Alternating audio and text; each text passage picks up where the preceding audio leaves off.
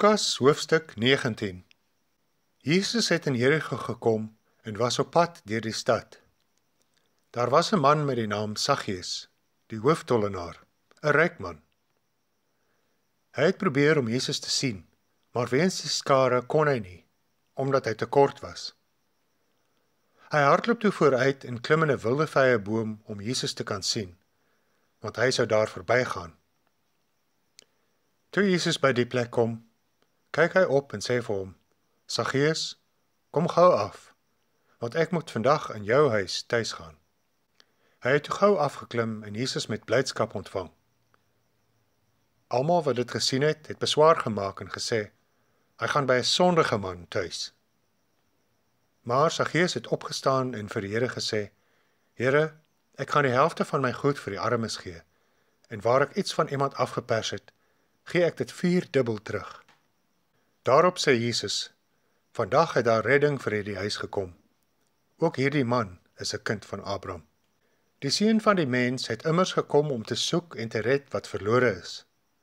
Terwyl die mense na Jesus geluister het, het hy nog 'n gelykenis vertel. Aangesien hy naby Jerusalem was en hulle gedink het die koninkryk van God sou nou enige oomblik kom. Hy het gesê: 'n Man van adelike afkoms het na 'n ver land toe op reis gegaan om as koning aangestel te word en dan terug te kom. Vooraf het hy 10 van sy slawe geroep en aan hulle 10 goue muntstukke gegee en gesê: "Dryf handel daarmee totdat ek terugkom."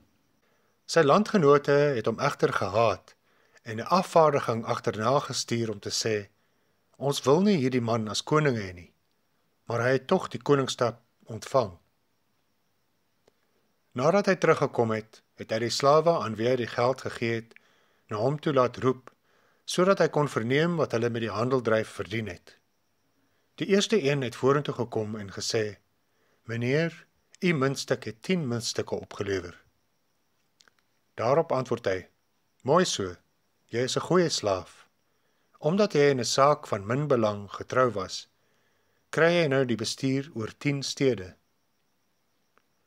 Toe kom die tweede slaaf en sê: "Meneer, u muntstuk het 5 muntstukke opgelewer."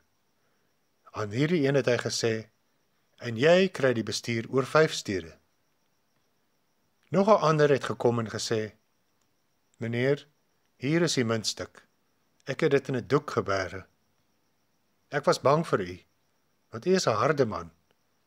U eis op wat u nie belê het nie en oes wat u nie gesaai het nie." Toe sê hy vir hom: "Met jou eie woorde sal ek jou veroordeel. Jy is 'n slegte slaaf. As jy geweet het ek is 'n harde man wat opeis wat ek nie belê het nie en oes wat ek nie gesaai het nie, waarom het jy dan nie die geld in 'n bank gesit nie? Dan sou ek dit by my terugkoms daarmee met rente kon getrek het." Daarop sê hy vir die wat daar staan: "Vat die muntstuk van hom af weg en gee dit vir een wat die 10 muntstukke het." Hulle sê vir hom: "Meneer, hy het dan al 10 muntstukke." Maar hy antwoord: "Ek sê vir julle, aan elkeen wat het, sal meer gegee word, en van hom wat nie het nie, sal ook die bietjie wat hy het, weggevat word." En daardie vyande van my wat nie wou hê dat ek julle koning moes wees nie, bring hulle en maak hulle hier voor my dood. Nadat Jesus hierdie dinge gesê het, het hy voor hulle uitgeloop op pad na Jerusalem toe. Toe hy naby Betfage en Betanië kom, teen die Olyfberg, stuur hy twee van sy disippels vooruit met die opdrag: Gaan na die dorpie toe daar reg voor julle. Net soos julle inkom, sal julle daar 'n jong donkie kry wat vasgemaak staan. Geen mens het nog ooit op hom gery nie. Maak hom los en bring hom hier. En as iemand vir julle vra, "Waarom maak julle hom los?" moet julle antwoord: Die Here het hom nodig. Die twee wat gestuur is, gaan toe en kry alles net soos hy vir hulle gesê het. Terwyl hulle die donkie losmaak, vra sy eienaars vir hulle: "Waarom maak julle die donkie los?" Hulle antwoord: "Die Here het hom nodig." Toe bring hulle die donkie na Jesus toe. Daarna gooi hulle van hulle klere op sy rug en help Jesus opklim. Terwyl hy aanry, het hulle van hulle klere op die pad oopgegooi.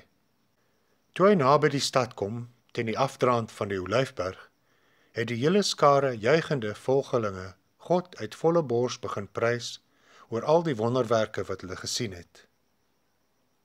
Hulle het gesing: Loof die koning, hy wat in die naam van die Here kom. Vrede in die hemel en eer aan God in die hoogste hemel. 'n Paar fariseërs uit die skare sê toe vir Jesus: "Meneer, maak stil u volgelinge."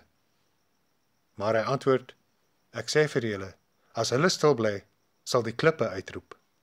Toe hy nog nader kom na die stad voor hom sien, het hy daaroor gehuil en gesê: "As jy vandag tog wou insien wat vir jou vrede nodig is, maar nou is jy blind daarvoor." Daar sal dae oor jou kom dat jou vyande vestings teen jou oprig en jou omsingel en jou van alle kante beleer. Hulle sal jou met die grond gelyk maak en jou inwoners uitwis. Hulle sal aan jou nie een klip op 'n ander laat bly nie, omdat jy die betekenis van die tyd toe God gekom het om jou te red, nie besef het nie. Jesus het na die tempel toe gegaan en die handelaars begin uitjag. Hy het vir hulle gesê: Daar staan geskrywe: My huis sal 'n huis van gebed wees, maar julle het dit 'n rowersnes gemaak. Hy was elke dag in die tempel besig om die mense te leer. Intussen het die priesterhoofde en die skrifgeleerdes en ook die leiers van die volk 'n plan gesoek om hom dood te maak. Hulle kon egter niks vind wat uitvoerbaar was nie, omdat die hele volk gretig na hom geluister het.